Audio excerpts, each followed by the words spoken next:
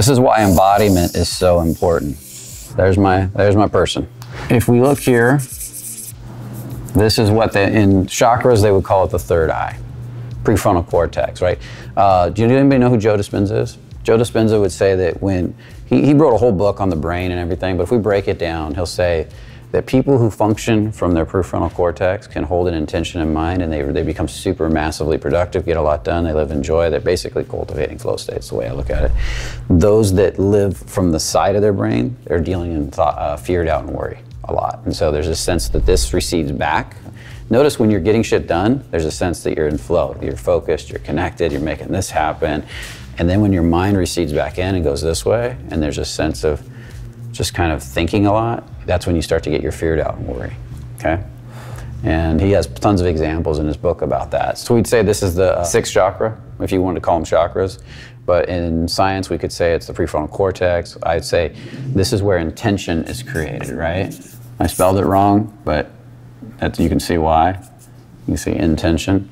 And you set an intention here, and then it drops down. And I would say this here is the next one. It's the, they would call this the throat chakra that I want to talk about. This is basically your ability to speak your truth with congruency. It's your voice. I'm going to say speaking with freedom. I'm going to write this difference. Why is this important? This is really interesting because when this energy drops to here, what happens, I see this a lot in energetic embodiment, is this whole area will bind, the face will bind, and you'll feel the voice change because they're, they don't want to be seen or there's so much that's heard through the voice. Women judge you so much on your voice. Is he confident? Is he insecure? I could say, Hi, my name is Brian, and you can feel the insecurity in that, right? Or you can drop back down and say, Hi, what's your name? and you can feel the emotion. So much emotion comes through the voice. The voice is such a powerful mechanism. So the more you can speak with your personal power and your freedom means the more you're letting the energy drop through here, here, here, here into the throat. And this is why I believe that so many people grind. I don't know if any of you guys out there grind, but they pull the energy back up in here, at night they're grinding because they don't want to. they're ultimately pulling the energy back, and they don't want it to drop into their heart they don't want to feel the vulnerability. They don't want to feel the pain of what's in their heart because the heart holds so much emotion and so much feeling. So a lot of guys, I'll be having them do heart work. This is so common. Working on that heart, opening their vulnerability, and nothing's happening. So I go up to here and I start getting them to let go all through the face and the jaw and down into the throat, and then bam, this thing goes, and they're like, holy fuck. And then they want to tighten back up here and pull back up. And if you just take a moment, everybody do this online, tighten a hair in the throat and feel how much less you feel your heart. And then relax the hair in the throat and the jaw and the face and feel how the energy can drop down into your chest. Go back and forth four or five times. You'll notice that difference. Who can feel that difference? Raise your hand in this room if you can feel it. Okay, cool. Good, good group of you. How about you guys online? Are you noticing the difference? Okay, good. Good, good. It's important. So, this to me allows for speaking with freedom. So, this then allows energy to drop into the heart. And if you've got the heart, if your intention is congruent with your heart and your heart's in love with it, you'll be able to speak your truth about it. So if this is lit up and this is lit up, that means the energy is running through here and you'll be able to speak with more power. I'm going to do this. It's time to make this happen. You state your goal. Uh, I am a millionaire. I'm a billionaire. I'm free. That's, that becomes really powerful. And because the heart is now falling in love with it, and expressing it out with love. And whatever you fall in love with becomes easy to manifest or create. This is, this is the pathway to flow state, okay? You gotta feel through the body, guys, okay? So the heart, a lot of people say the heart, this is the, where the soul is stored, the center of the soul, the emotional body. And I believe at the highest level, this is where you're really feeling a bulk of your cap from. It's like, it's like a power source and it goes out and touches people and people go, oh, I like this guy, right?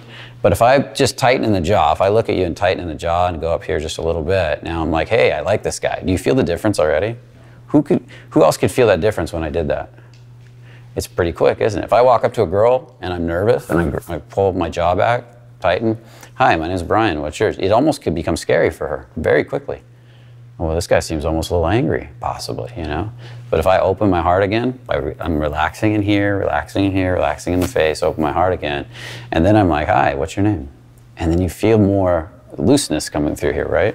And so many of you guys walk around and just saying hi to girls. It's just like, even doing the highs. hi, high, high, high. And there's this, you're blocking right here. There's armor on here, right? So we get that heart open. Now the energy tends to come down to the gut brain. And if you guys don't know what the gut brain is online, look up gut as a second brain.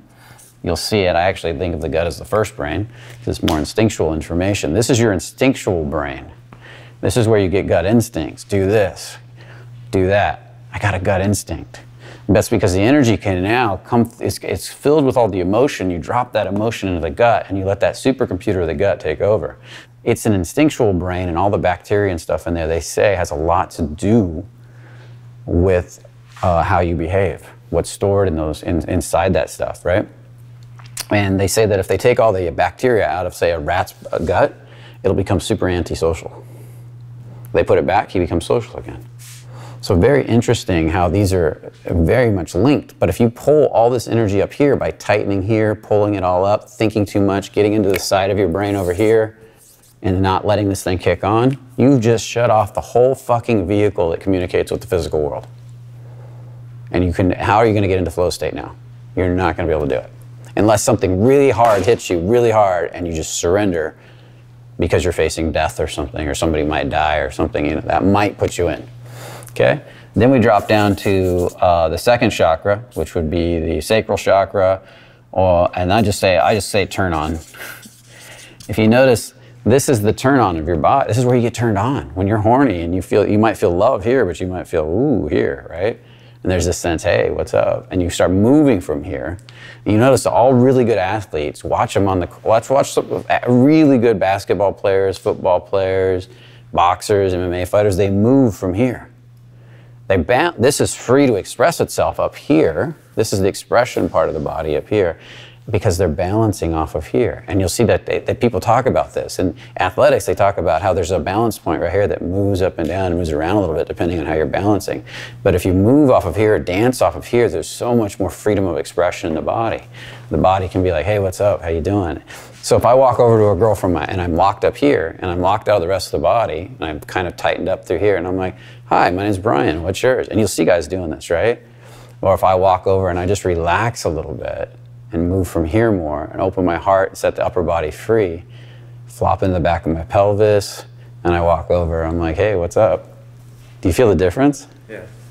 It's a big fucking difference to people.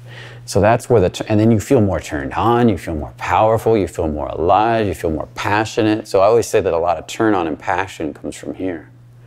Love, appreciation, joy, and gratitude come from here. So when you get this whole vehicle working, it's so powerful.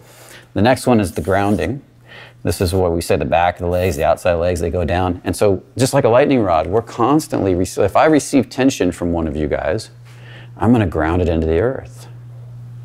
Right? I'm going to let it run through me. If you yell at me and I don't ground it in the earth through the kinetic chain, it's going to get stuck somewhere in my body and it's going to be hard to use that part of my body because I'm going to be, if I, if somebody like yells at me and I tighten in the, in the, let's say I tighten in the heart, it's going to be like, it's getting stuck right here and there's going to be this buildup. If I tighten in the stomach, there's going to be a buildup and I'm going to become tight and more and more reactive, and it's huge. And so we want to let this energy ground down, and then you also receive energy up from the earth that feeds you. So you want to be able to let that. So once you start to relax and let energy go down, you start to receive energy back up. You become so much more powerful, so much more free. Okay. And then it, that's when they say it runs up the spine comes out the top of the head, and you also receive energy down through the top of the head, divine inspiration.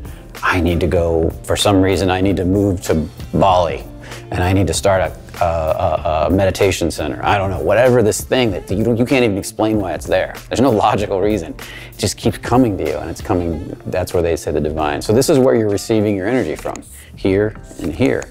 And then you're projecting it out to the world through here a lot, right?